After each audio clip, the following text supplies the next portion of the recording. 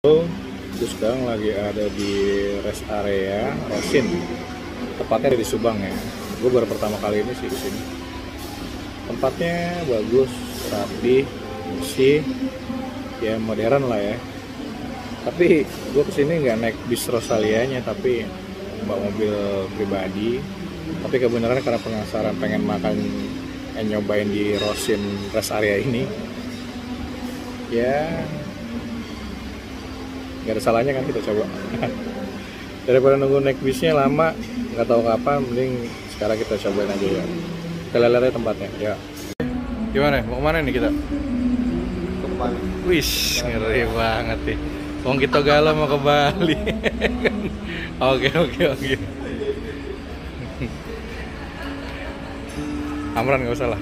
Gimana Gus? Mau ke mana lagi kita Bali yang kedua. eh deh gila nih nggak ada matinya